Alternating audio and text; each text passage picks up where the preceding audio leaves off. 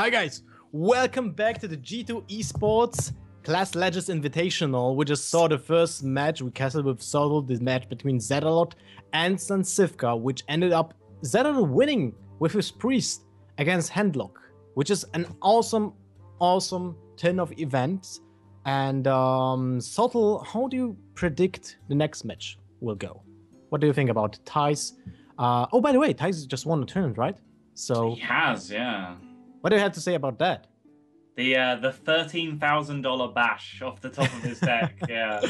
Yeah. Um, that that last game was uh, sorry. Just talking about the other tour for a second. That last game was crazy. The Savits Thijs final where there was dreaming of variants and all sorts of things, both pulling Aceras and just crazy, crazy business. And Savits making the decision to go for the guaranteed lethal setup with the Aceras, getting punished by Bash as the last card. That was uh, completely crazy, but.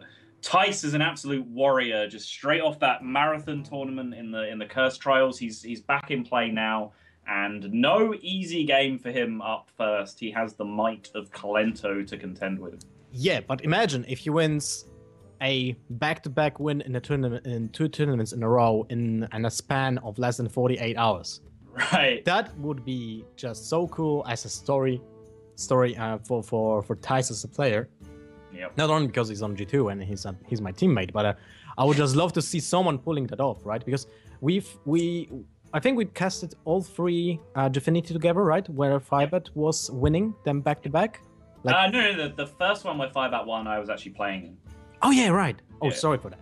But uh, uh, but but I I mean, only Firebat is known for like pulling that kind of stuff, right? Like winning back-to-back tournaments, and uh, I would love to see other players doing that consistent, um, those consistent results all the Oh. time, right? I'm just going to throw a plug in here before we get into the game. On the subject of teammates, uh, Mr. Super JJ did win, I believe, SeatStory and then a, a Oh, yeah, 16 man online right. back to Yes. back in the course of a week. So Yes, you you're totally right, and we'll see Super JJ in this tournament too. Yes. Uh, anyway, moving back into proceedings here, it looks like Thijs is on Warlock. And it looks like one of his decks is Zoo, so it looks like he's going for the more predictable, traditional lineup of uh, Zoo plus a control Warlock deck. And Kolento is going Druid here, and looks like he's opened with Aggro Druid. So I would presume that his lineup is Aggro Druid plus mid-range Druid, which seems pretty solid. Any lineup that includes mid-range Druid sounds pretty solid. Um, but yeah, Druid definitely a solid choice. Warlock, one of my most expected choices for this tournament. Um, and he's going to have to now Kolento choose whether he's going to living roots down this uh, Flame Imp or just contest it with the Leper Gnome. It looks like he's going to hold on to his coin for now. Mm-hmm. So let's talk about matchups, right? Sure. Um, wait, uh, Kolento is Warlock? Kolento's Warlock. Uh, oh, Kolento's the Warlock. I had it the wrong way around. My apologies. yeah, uh, but uh, so let's talk about the matchups. So let's assume um, that Zoo is in general favorite against mid-range Druid, right? Because the sheer amount of body and health points you put on board is Yeah. problematic for the Druid to, to deal with, right? Because you would um, you would need to have a force of nature to clear three minions to somehow uh, get the value out of your cards. You- You need double swipes or a swipe with an Azure Drake to deal with the board. Otherwise, you're being overwhelmed by the amount of minions that Druid will just put on board. But in the aggro matchup, how is that different? Uh, I mean, any any outright face deck against Zoo tends to have a good time as long as they can establish some early damage with early minions that that uh, sorry Thijs does have. Um, just because of the nature of the Warlock hero power, Zoo will run out of cards. They are forced to tap to refill on their hand. Um, so as soon as they start doing that, you're starting to threaten burst damage. Um, Aggro Druid is a little bit weaker than something like Face Shaman or Face Hunter against Zoo, um, because most of their damage comes from physical attacks, melee attacks. So you ha- do have the chance to wall out something like Force of Nature Savage Roar combo uh, or Druid of the Claw charge using, you know, Voidwalkers, Defender of Argus, etc. Mhm, So mhm. Zoo with a strong draw can definitely contest with that a little bit better than the the spell damage from hand style face decks. Um, but generally, any any deck that's super aggressive has a pretty decent matchup against Zoo. What? Yep, that's um, that's spot on as usual. So you're really good at this. So why don't you play buddy? more? Why don't you play? I, people keep hiring me to talk nonsense about Hearthstone. Come on. Anyway, uh, just wanted to talk about other MVP in this in this matchup, which is Keeper of the Grove. Like this card is basically at least two for one against any Warlock deck that relies on minions, right? Because it, it buys you, it's a, an Arcane shot on a body that is capable of dealing with two minions at the same time. Absolutely. Uh, just laughing to myself. I love watching Thijs's facial expressions when he plays. He's not a hugely overstated player, but he has these little subtle expressions that he makes when he plays that really amuse me. And there was just a little uh, seems good moment while uh, when the knife juggler hit perfectly there to help him clear out two minions. It was a very uh, ballsy move from Thijs to to go for the knife juggler uh, plus the minion generation. You know, it's two damage either way, but by using the living roots as directable damage, you've got to just snipe down the 2-2 straight out on the target you wanted. Um, Knife Juggler was a little bit more risky. You get the two damage plus the two one ones on board, but the knives could have gone anywhere. So a little bit risky, but he does get paid out for it. Picks up some uh, really nice trades onto the board, and now he's looking in a very very comfortable position to uh, to push a decent amount of damage this turn. And as you mentioned, Keeper of the Grove coming out as MVP here.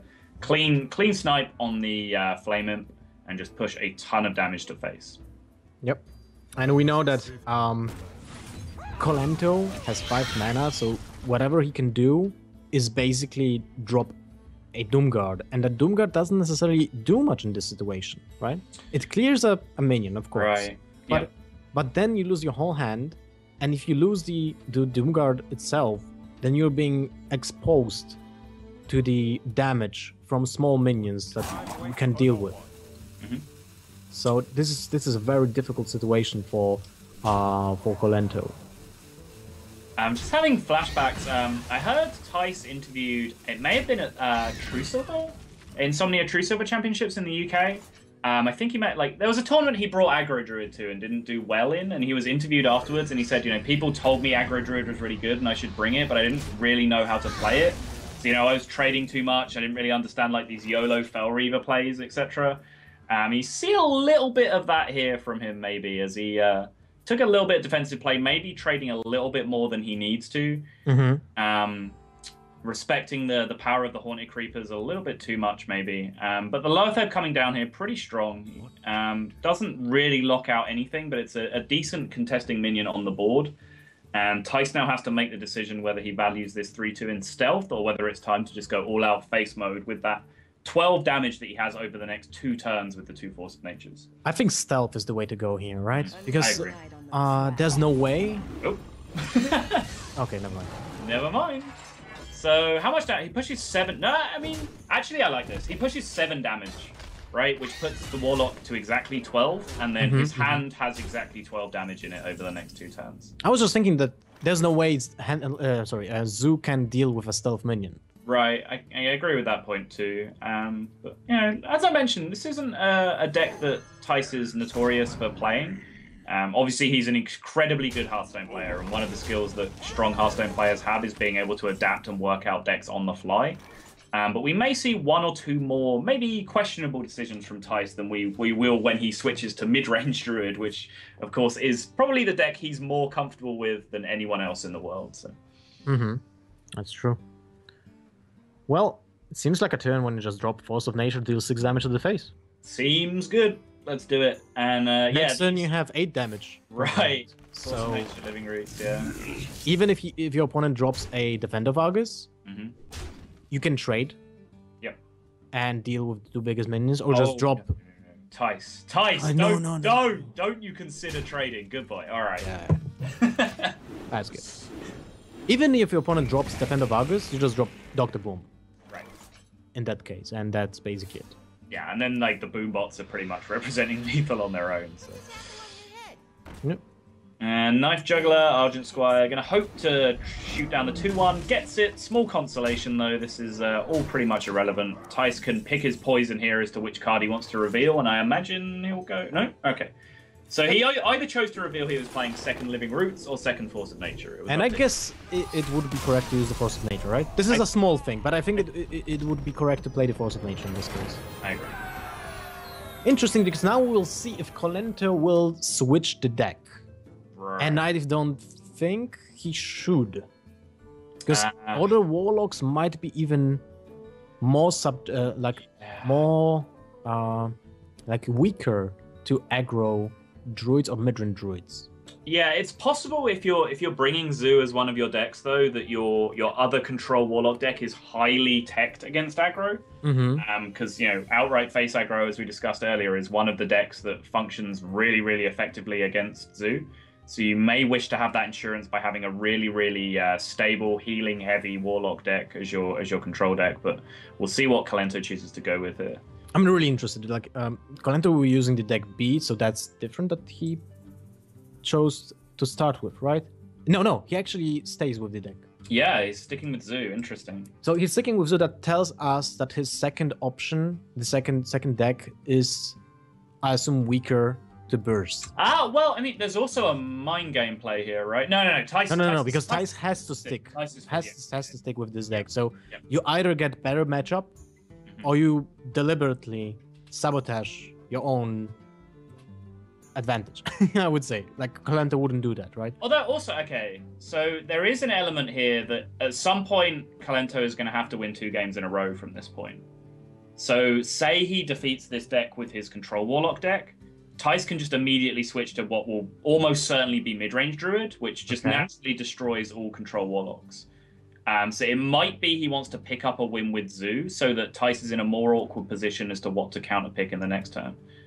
Um, and these these are also small considerations, but Kolento is a very involved um, player in these sorts of metagame decisions. So these might all be considerations that are going through his head. But it's also equally possible, Lothar, that the simple explanation is that he just feels this is this is a better matchup. Yeah, well, I, I agree with you. That might also be the, the plan, like the long term plan. Yeah. Uh, other thing I wanted to point out is that Zetalot played, played Priest, his comfortable class, and the class that is associated with him as a player, right? Uh, StanCifka chose Warlock, which I guess we might say the same, Right? but maybe not to, to such extent. Like, Yeah. it's not su- such a strength, a strength, um, strong association of the class with the player. But then we have Thijs, who is like Druid in- incarnation, right? For, for the, for the Yep. whole, uh, for, for, for his whole existence in the scene. And then we have Kolento. Would you put Kolento on any class? Ah, not really. He's he, he kind of plays all over the place. I mean, he plays a ton of priest as well. He's got extremely high ratios on on ladder with priest, but um, from watching his stream, he tends to just hop around, and his tournament lineups are usually just strong meta calls. So I wouldn't really associate him too much with an individual class. Would you, Lothar? Yeah, I would agree. Like maybe maybe some time ago, I would say Kolento is one of the priest players, Right. right? Or the rogue player. Yeah. because those decks require a lot of uh, like combinational strategy, right? Mhm. But uh, in- general, I would say Kolento's like one of the better overall players. The same the same thing I would say about his teammate from Cloud Nine, which is StrifeCro. Right. He's Agreed. He was known for being um, the druid player in the beginning of the game, Mhm. but then he was get uh, like he was he was more known about uh, for for being the beatdown player. Yeah. For being the aggressor, right? Mhm. And, and not only being associated with druid in general.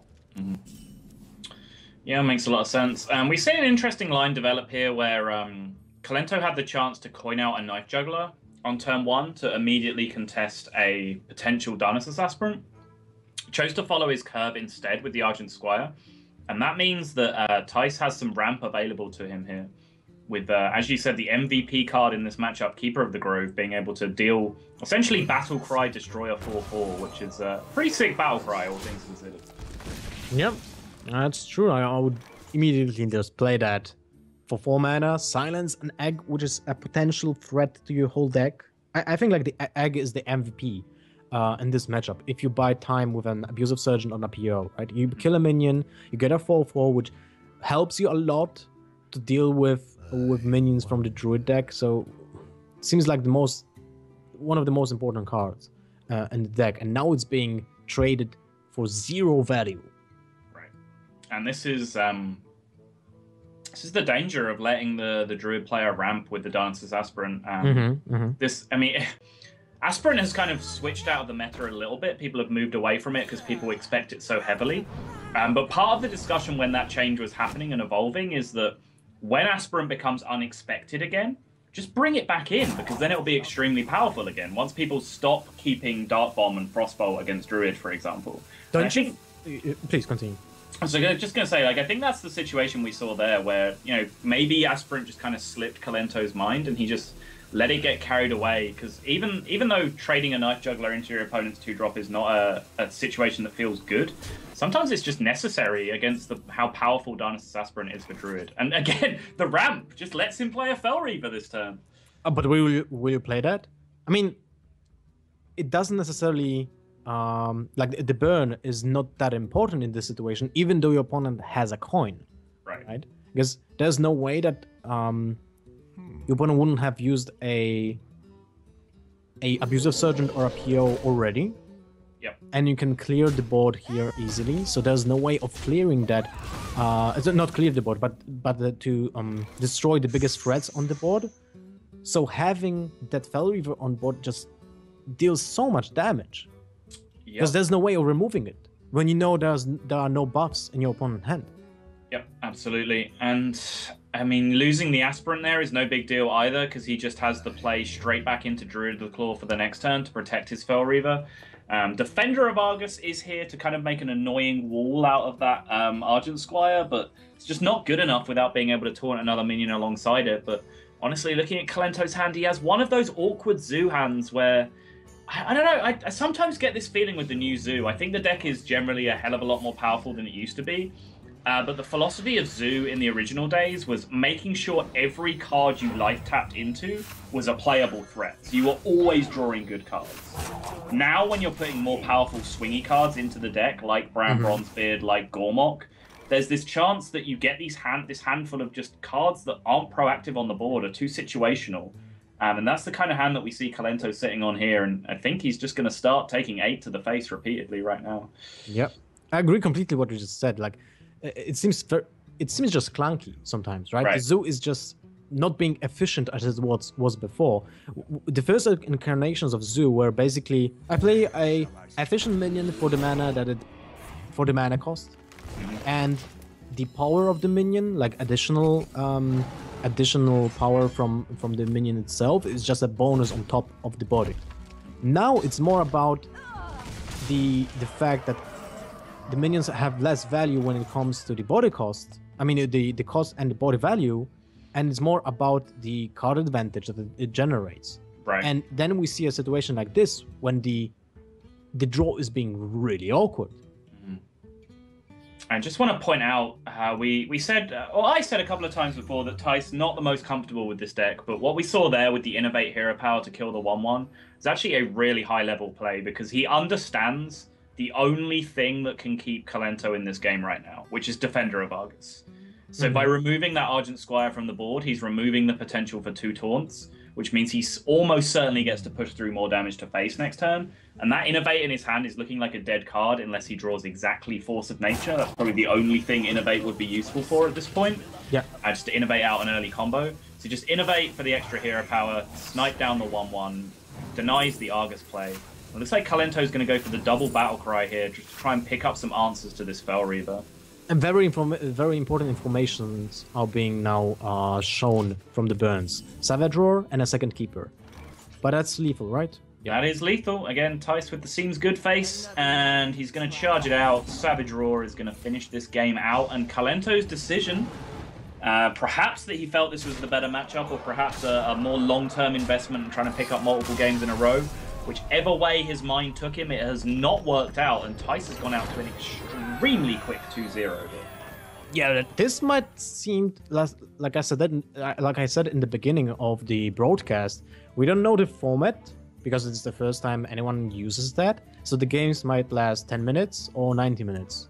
That was the case in the first match between Zetalot and StanCifka because it was 3-2 with control matchups basically. Where here between Thijs and Kolento we see two aggressive decks battled out. So it goes really, really fast.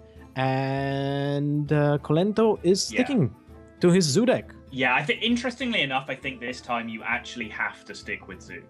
Right? If, if, if you're 2-0 down and you switch to a hand lock or a Reno lock in this situation, you just lose the series. It's over. You might win this game, but then your you know your hand lock just it has has to go up against a mid-range druid. It's just a horrible matchup.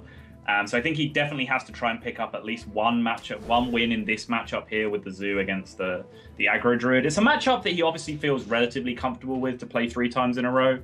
Um, but we see Thijs keep getting these uh, these very powerful early starts, and if the the Druid deck is able to match minion for minion early against the Zoo, then uh, it's going to be in a really comfortable position. The the weakness of the deck is that it doesn't play as many early minions to be consistent.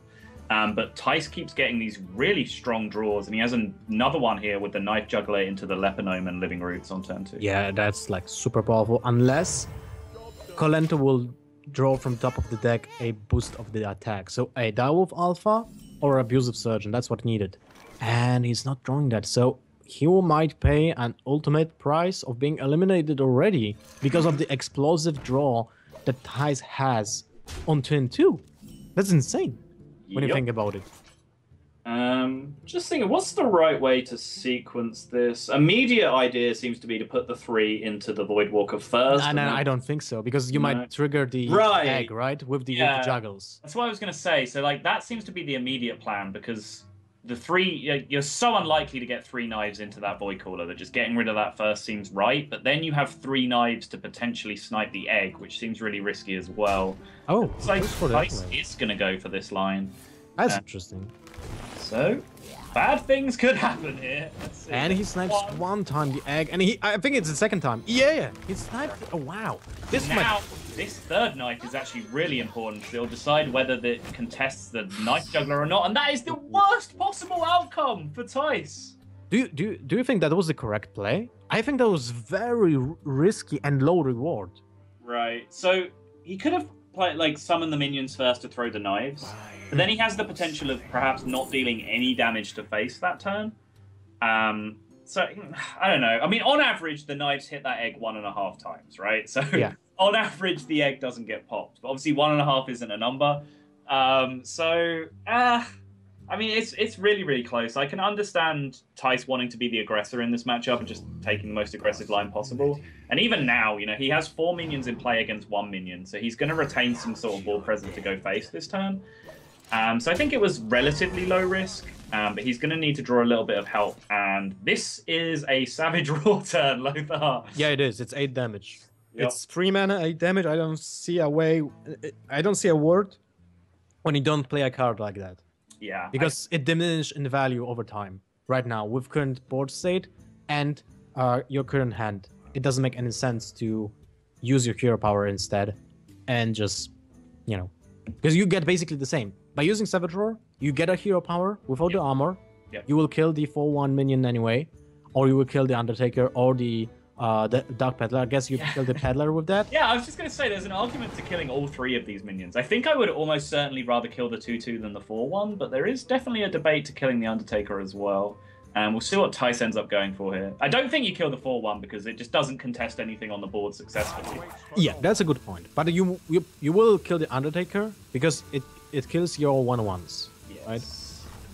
Yep, there we go. Chooses to take out the Undertaker, and oh, a little bit mean, sure.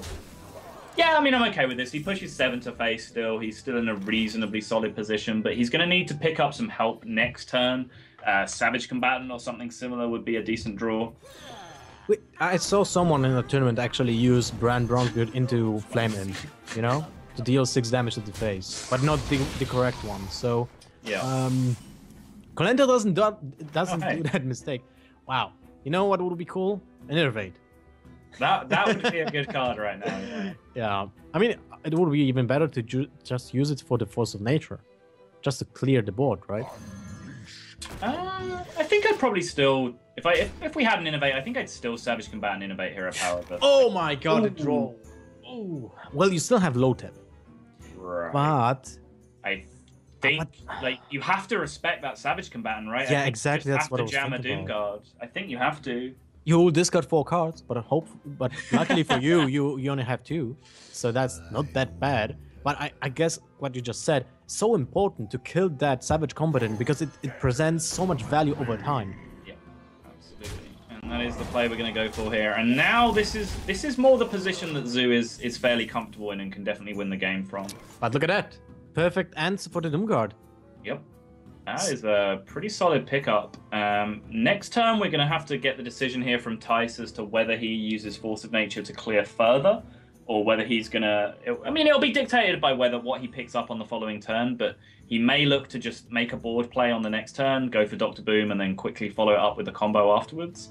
But I don't see any other play available to him here except Keeper of the Grove on the 5 2, and suddenly we're in a relatively even board position again.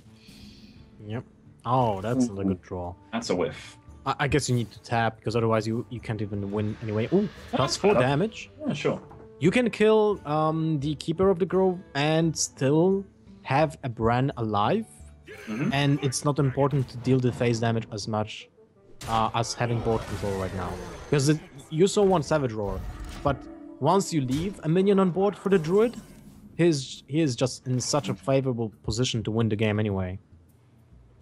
Okay, so based on that Living Roots draw, I think we are mandated to use the Force of Nature this turn. I don't think you're going to race him quick enough from this position with just a Living Roots.